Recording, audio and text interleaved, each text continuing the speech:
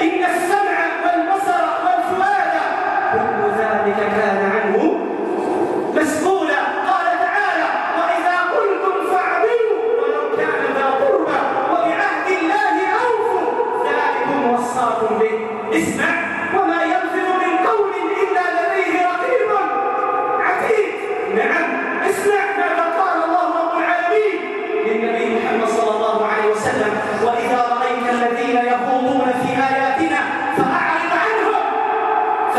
عنهم حتى يخوضوا في حديث غيره. سبحان الله. طب وإن لم تفعل يا رسول الله فإنك إذا كمثل هؤلاء. إذا كان هذا الخطاب لمن؟ لمن لم يعرف العيب إلى طريقه سبيلا. ألا وهو النبي محمد صلى الله عليه وسلم. عباد الله اسمع إلى رسول الله صلى الله عليه وسلم واسمع إلى أحوالنا التي يعيش فيها كثير من الناس إلا من رحم ربي تبارك وتعالى فيما رواه الإمام الترمذي من حديث الحارث من حديث من حديث بلال بن الحارث الجزري أن النبي محمد صلى الله عليه وسلم قال اسمع وأنا أعلم أنك أفقه مني وأفضل أسأل الله أن يغفر لي ولك ولكن من باب قول مولانا وذكر فإن الذكرى تنفع المؤمنين.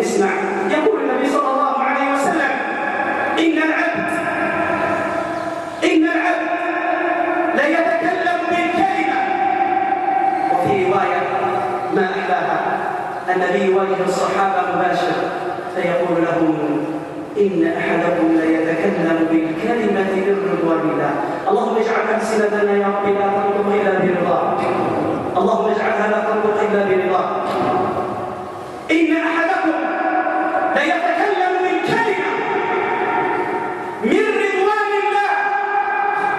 استحلفك بالله أن تسمع لكلام رسول الله بقلبك ولا تجعل الكلمات تمر على قلبك مر الكرام أنا أتكلم عن رسول الله. وبكلام رسول الله اسمع. إن أحدكم منكم ليتكلم بالكلمة من رضوان الله. انتبه للكلمه التي تسمعها الآن. ما يظن أنها تبلغ ما بلغت. كلمة ولكنها من رضوان الله. كلمة من رضوان الله. حفظهاش يا عثمان خالص. ما واخدش بالك.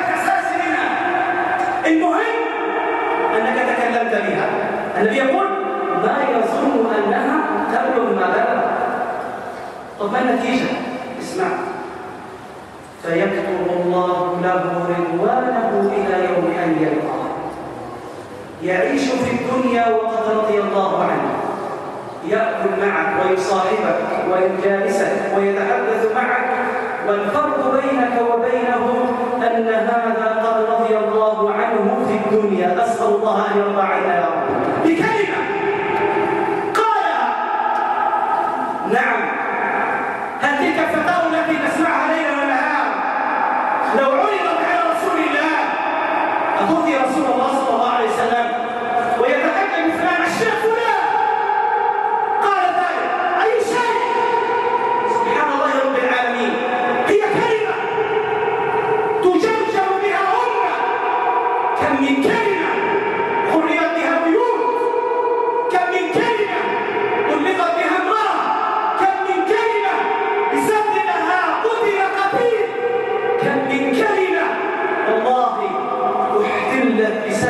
بلاد وإنا لله وإنا إليه راجعون.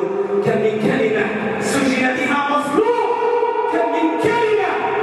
يا الله.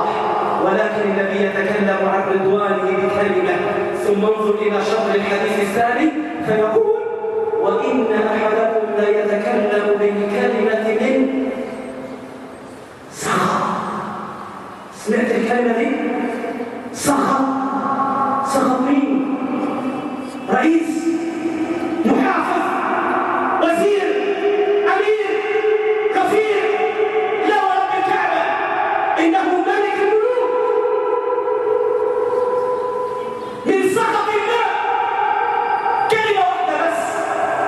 من سخط الله.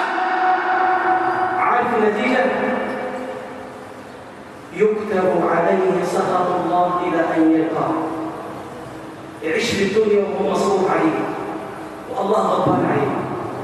ثم تسأل لماذا الهم في بيتك أو مع ولدك أو في شارعك أو في عملك.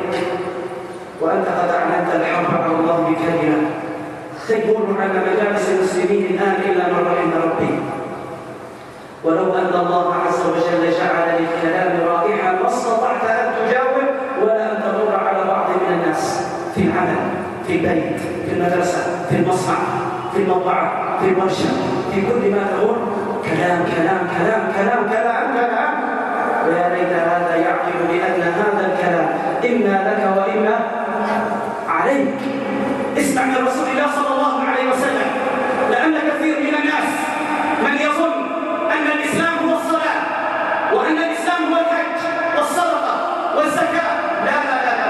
بل أكبر من ذلك.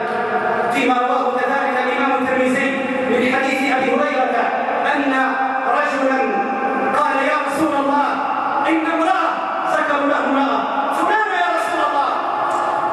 الست اللي عايشة معنا في الشارع الفلاني يا رسول الله اللي عايشة ورانا يا رسول الله أتعرفها؟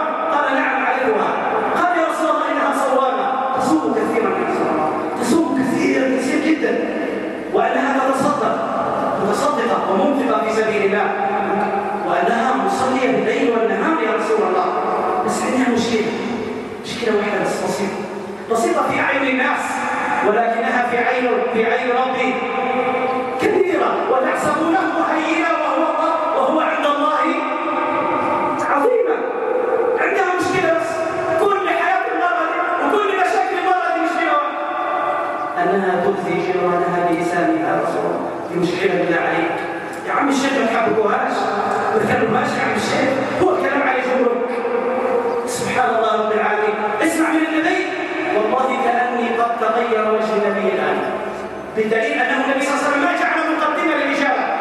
ما جعل مقدمة. تصلي وتصوم. اسمع وتتصدق. نعم. ولكنها تؤذي جيرانها بلسانها الذي ماذا قال النبي صلى الله عليه وسلم منفعلا؟ فقال له هي في النار خذوها مني إمضاء محمد رسول الله قولوا لتلك المرأة أنت من أهل النار ثم ذكروا له بأن امرأة أخرى قليلة الصيام تصلي الصلوات الخمس. قليلة النوافل. ولكنها يا رسول الله تكرم جيرانها ولا تزيل بلسانها. أعطاها النبي صلى الله عليه وسلم فماذا قال؟ قال هي في الجنة صلى الله عليه وسلم.